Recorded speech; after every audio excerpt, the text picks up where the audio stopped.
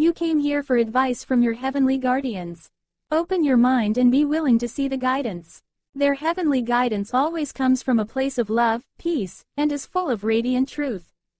At this moment all your problems are solved because your ever-loving Father is with you. If you've asked for a message from a loved one, take their communication more as their opinion on the matter, just as you would if they were still holding you there.